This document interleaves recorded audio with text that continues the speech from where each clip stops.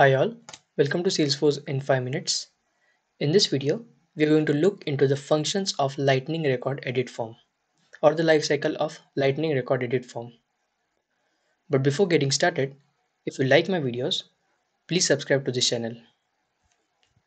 So in the previous video, we saw how to create a Lightning Record Edit Form, but we don't have much control over this form. If you can see in the previous video, we don't have much control in this form.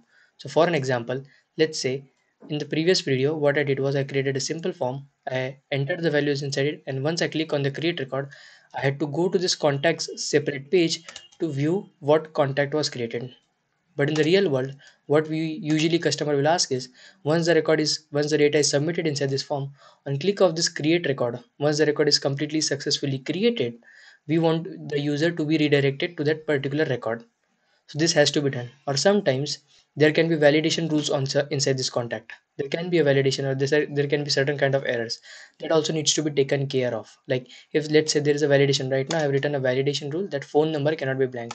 So if i'm going to create an account or create a contact if i'm not going to provide any kind of phone number there will the validation rule will get fired but i won't be able to see any message on, on the top. The reason is because i have not handled it.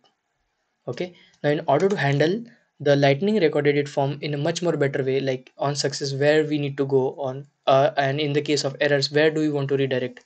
All these things can be carried out using there are uh, using four functions of lwc uh, record edit form. One is on load. Another one is i think so on error. Next is on success. And on uh, on submit okay so these are the four functions. Now on load i'm just going to give you an overview over it because right now it's, it cannot be used right? For this requirement it cannot be used.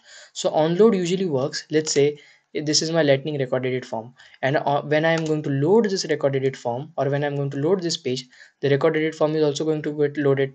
So in that cases if while loading i want to do certain kind of operation in that cases that can be handled inside on load right? So if i'm going to load the record edit form and i want to do certain kind of operations while loading this is usually applicable in the case of update. But if i want to do certain operations while loading in that cases we use on load. Next is on error. So if i'm going to submit the record right right now if you can see i have a i have a, a validation rule saying that contact phone cannot be blank so if i have uh, this kind of validation and if i am going to submit the record without giving any kind of phone number the validation rule is going to get fired in that cases on error is going to work because we have got certain kind of error. So on error is going to work and inside on error we can handle that how we want to show that error message to on the screen. Next is on success. On success is nothing but if your record is successfully submitted if you want to redirect the user to the another page that's what we do is in on success. Last and the final is on submit. On submit is just if you are submitting the record if you want to do certain kind of operations you, you can use on submit now there is a life cycle of this. I will represent you using autodraw. So first what happens is you reload the page. And in that in that case onload works. So i'm going to name it as ol okay? Sorry for my handwriting but ol means onload. Okay? As soon as you refresh the page. Now what you did was you submitted whatever details you want. You entered the phone number you entered the birth date you entered everything inside that contact form. Once you do that and you click on the update record what happens is submit is going to work.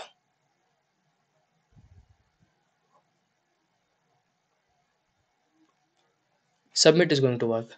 And on submitting of the record the data is going to check whether there is any kind of validation rule. Like for an example if i had submitted the form without providing the phone, num phone number.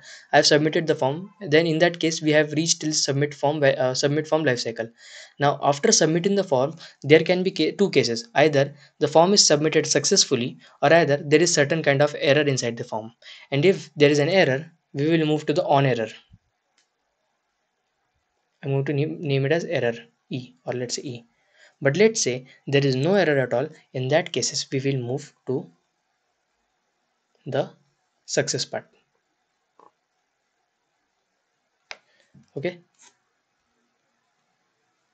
So we are going to move to the success part. So usually how the life cycle goes?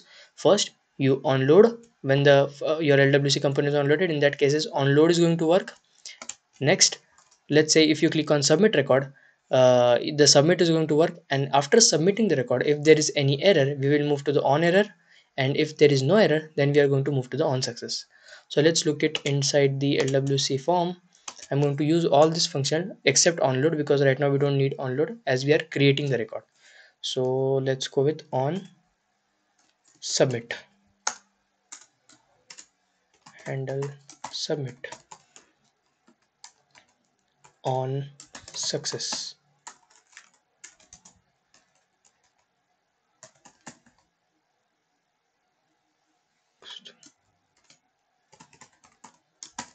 success on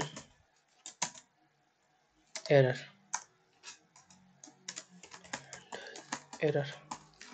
So I'm going to use all of these functions in my JS form. I'm going to write console or let's say alert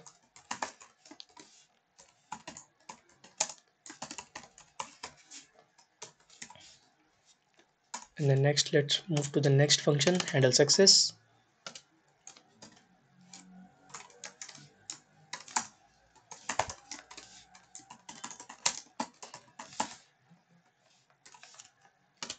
And last is handle error.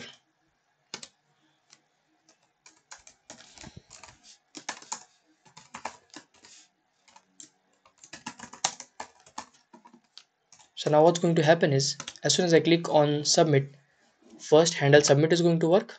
And after that based on whether there is a success we will go inside the success method or else we will go inside the error method as we as we have discussed inside this diagram.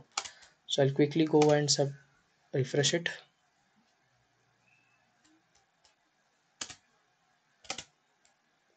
Okay so now I have a validation rule.